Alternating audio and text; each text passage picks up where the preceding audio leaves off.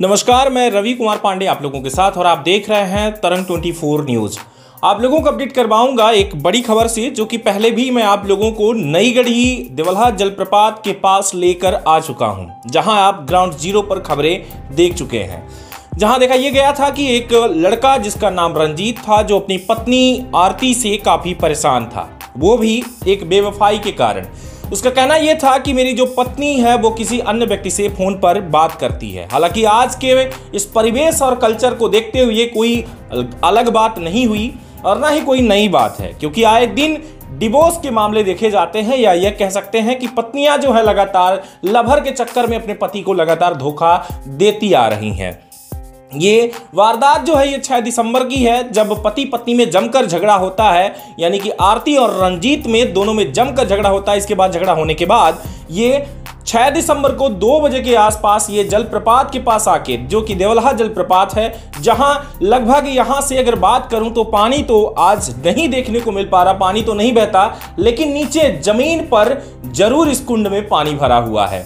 जहाँ मैं आप लोगों को बताता चलूँ कि ये जो घटना है 6 दिसंबर को जो दो बजे जहाँ ऊपर से कूदता है, लगभग इसकी अगर गहराई की बात की जाए तो एक खाई से कम नहीं है, लगभग जो 400 से 500 फीट की गहरी एक ऊपर से नीचे की तरफ़ जो जल प्रपाती आ रही, जहाँ कुंड में लगभग 150 से ज़्यादा फीट की गहराई पानी भरा हुआ। हालाँकि ये अभी इसका अंत नहीं मिलता है, लेकिन जब इस बात पे जाता है, लोग कि आखिर में ये कहाँ गया, इसकी बॉडी कहाँ गई तो लगभग छह तारीख से लेकर के दस तारीख तक इसकी बॉडी का कुछ पता नहीं चलता है। हालाँकि छह तारीख को जब रिपोर्ट लिखाई जाती है, पुलिस को जब सूचना दी जाती है छह या सात तारीख को, तब ये इसके बाद पुलिस एक्टिव होती है और जाती है, ढूंढती है। लेकिन जब उसकी बॉडी नहीं मिलती तो पुलिस भी सहम जाती है और अपने थाने में बैठ जाती है।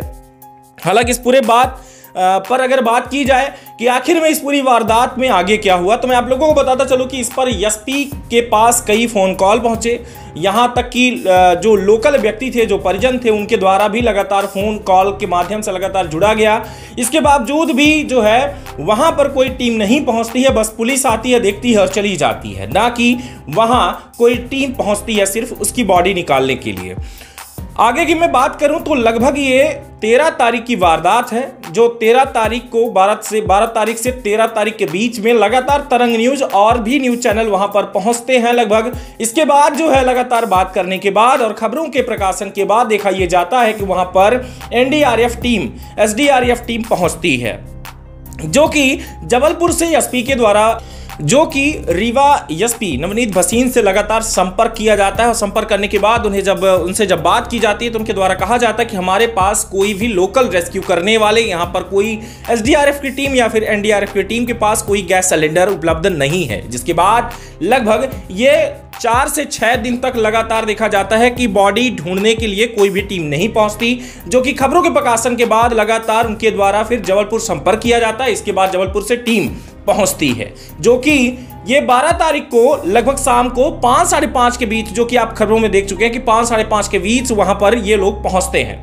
तेरह तारीख को मॉर्निंग की बात है, जब लगातार रेस्क्यू चलता है, जो वहाँ पर टीम पहुँचती है, वो 400 फीट नीचे जाती है, जो ग्रामीण जनों के द्वारा वहाँ पर लोग इकट्ठे होते हैं, उनकी बोट को और उनके बोट की मशीन को, यहाँ तक कि उनके जो भी अस्त्र शस्त्र इंस्ट्रूमेंट थे, सारे इंस्ट्रूमेंट को लेकर के वहाँ पर पहुँचते हैं।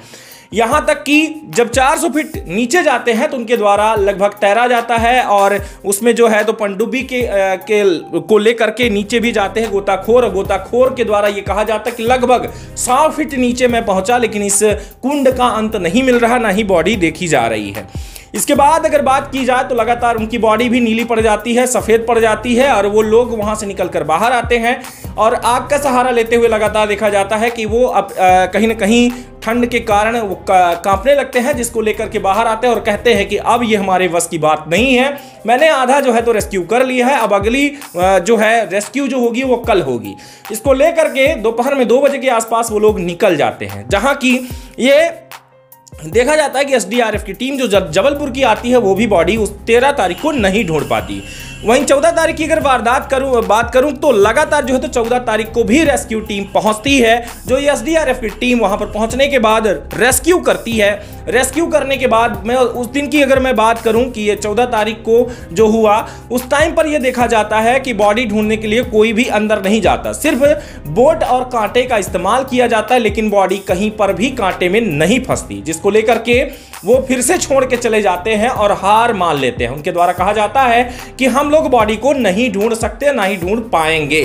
क्योंकि बॉडी अब जब भी आएगी, अब ऑटोमेटिक जो है, अपने से बॉडी अब ऊपर आएगी। लगातार मैं बात करूँ कि ये जो आरती का पति जो कि आरती घर से फरार हो चुकी है अब तक वहाँ से देख, देखती है जबकि पति पानी में डूबने जा रहा है उसी टाइम पर आरती नाम की जो आरती साकेत नाम की जो लड़की यानी कि जो औरत है उसकी वो वहाँ से गायब हो जाती है। रफू चक्कर होते हुए थाने में रिपोर्ट भी लिखाती कि मेरा पति मुझे टॉर्चर कर रहा था जहाँ की आरती का जो पति है वो तब तक पानी में डूबकर मर चुका था। बात की जाए और आगे अगर कुछ तो आज पंद्रह जो है दिसंबर को आज सुबह की घटना जो लगातार देखने को मिली कि दस बजे जब उसके घर वाले जब परिजन जो जाते हैं, देखते हैं तो उस पानी में उसकी बॉडी ऊपर कहीं ना कहीं दिख जाती है।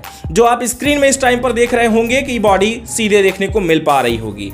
इस टाइम पर जो, इसके जो परिजन है, जब उनको बॉडी देखने को मिलती है, तब पूरे लोग नीचे जाते हैं। ग्रामीण जन जो है, वो भी नीचे जाते हैं और देखने के बाद वहाँ से बॉडी लेके आते हैं, जिसके बाद पुलिस को भी सूचित किया जाता है और पुलिस जो है बॉडी को उठवाकर पंचनामा करवाती है और लगभग 12 से 2 बजे के बीच में बॉडी को परिजनों को सौंप दिया जाता है। ये तो बात थी लगातार वारदात की, लेकिन सबसे बड़ी वारदात जो थी वो ये है कि पति पत्नी के झगड़े के बीच में एक व्यक्ति की जान जा चुकी है। क्या जो पत्नी के चलते जो है ये प्रताड़ित हुआ, जो कि रंजीत साकेत, जिसकी उम्र लगभग 24 वर्ष, जो कि पिता राम सिया साकेत हैं, और ये जो है नईगढ़ी थाना अंतर्गत का ये मामला है क्या बाकी में पुलिस भी इस पर कोई एक्शन लेगी?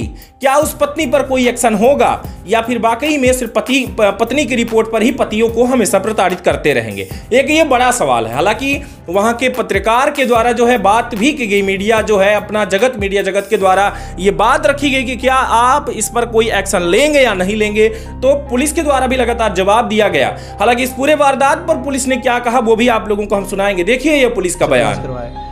और एनडीआरएफ वाले भी आए थे उनसे प्रयास करवाए हैं।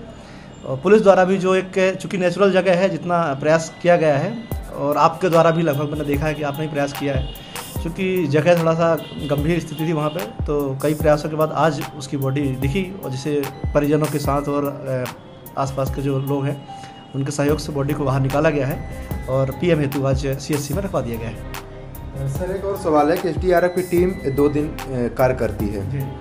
तो उनके ईमानदारी पर सर आपका क्या ख्याल रहेगा? जी, देखिए, क्या है, एक उनका अपना प्रोसीजर है, चूँकि जो एक एक्सपर्ट लोग होते हैं, उनके बारे में हम लोग क्या राय दें? क्योंकि वो अपने ही तरीके से एक अपना विशेषज्ञ जो उनका अनुभव रहता है, उसी पे काम करते हैं। हम लोग किसी की कार्यप्रणाली पे वो नहीं कर सकते हैं। उनका जो प्रयास था उन्होंने तो काम तो किया है। जो हम नहीं कर सकते तो उनने किया है। जो आप नहीं कर सकते थे उनने भी किया है।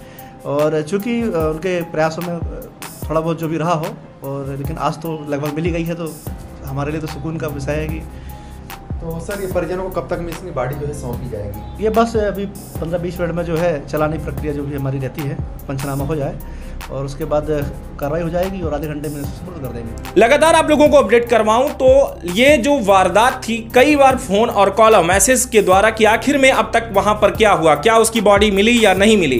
तो सबसे बड़ी बात कि उसके परिजनों को जब बॉडी मिल जाती है तो वो भी कम से कम उसका संस्कार कर सकते हैं, क्योंकि इतने दिनों से उसकी बॉडी का इंतज़ार कर रहे थे। हालाँकि बॉडी काफ़ी डिकम्पोज हो चुकी है, देखने के जो आप लोग देख ही नहीं सकते, इस तरीके का ये मामला देखा जा रहा है। लेकिन अब अब जो है कहीं ना कहीं उनका बेटा तो वाकई में जा ही चुका है। हालाँकि जब तक ये बॉडी नहीं मिल जा रही थी तो कहीं ना कहीं संदेह पुलिस को भी थी एसडीआरएफ टीम को भी थी। यहाँ तक कि पत्रकार के द्वारा भी सवाल उठाया जा रहा था कि क्या वाकई में उसने जंप किया है? या नहीं? सवाल तो ये उठ रहा था। लेकिन अब ये हो चुका है कि पिता उसका सही कह रहा था कि लड़के ने मेरा जो है मेरा जो बेटा है जो रंजीत है वो जा करके पानी में ही उसने जंप किया है। रेस्क्यू करने के बाद बॉडी बोल रहे थे उसमें नहीं है सर। लेकिन आज बॉडी क्यों ऊपर आई सर? हम यही सवाल प्रशासन से करना चाहेंगे। मेरे भाई की बॉडी है सर। आप आप खुद नीचे गए थे। अब मैं खुद नीचे गया था अपने हाथ से लेके आ रहा हूँ सर। प्रशासन ने क्या कार्रवाई किया? जिस साइड में बोल रहा था उस साइड गया ही नहीं। बोल रहा था कोई बॉडी वॉडी नहीं है। सर, हमको अभी न्याय चाहिए सर, उस लड़की को बुलवाया जाए इधर, सर, हमको न्याय चाहिए बस, सर। अभी खाली हमको न्याय चाहिए, सर। और हमको कुछ नहीं चाहिए, वो लड़की के घर वाले इधर आना चाहिए, सर, बस। नहीं नहीं नहीं, शिथिलता रहेगी। अगर जो भी चीज़ें निकल के आएँगी, उस पर बिल्कुल स्ट्रिक्ट तरीके से कार्रवाई की जाएगी। और हम लोग लगभग करते ही हैं। ऐसा नहीं है कि लड़का है या लड़की है तो कोई पक्षपात नहीं होता है। अगर जो भी चीज़ें विवेचना के दौरान आएगी, उस पर कार्रवाई होगी और आपके सामने दिखेगा भी उसका रिज़ल्ट बहुत बहुत धन्यवाद। बहुत बहुत धन्यवाद। ऐसी खास खबरों के साथ लगातार आप जुड़े रहें तरंग 24 न्यूज़ पर। और भी बड़ी खबरों से अवगत करवाऊँगा। लेकिन सबसे पहले बात मैं आप लोगों को बताना चाहूँगा कि कभी भी आपके साथ अगर ऐसा हो तो आपको पानी में डूबने या मरने या फिर कुछ भी ऐसे करने की आवश्यकता नहीं है। आप कंप्लेन कर सकते हैं कि आपकी पत्नी धोखा दे रही है और आप उसे डिवोर्स लेकर भी आप सही तरीके से अपने परिवार के साथ रह सकते हैं। क्योंकि इस पूरे वारदात से अगर कोई आहत हुआ है तो वो है अपने आप के पिता और माता, जिनके चलते लगातार आंसुओं को लेकर के 10 से 12 दिन तक लगातार धरना प्रदर्शन उनका इस चीज़ के लिए हो रहा था। आज 10 दिन पूरे कंप्लीट हो चुके हैं, जिसके बाद उसकी बॉडी मिल रही है और अभी तक जो है लगातार वो लोग जा करके पत्थर के किनारे बैठते थे और इंतज़ार करते थे कि बॉडी कब बाहर आएगी। मैं देख तो लूँ कि ज़िंदा है या मर गया, जबकि सबको पता था कि अगर पानी के अंदर गया तो अब ज़िंदा नहीं होगा। लगातार अभी तक आप देख रहे थे तरंग 24 न्यूज़, जिसको लेकर के मैं पूरी खबरों को प्रसारण करता रहा और यह सभी का सवाल था कि आखिर में क्या वो बॉडी मिली या नहीं मिली तो आपके सामने है कि बॉडी मिल चुकी है। बहुत बहुत धन्यवाद। नमस्कार। जय हिंद।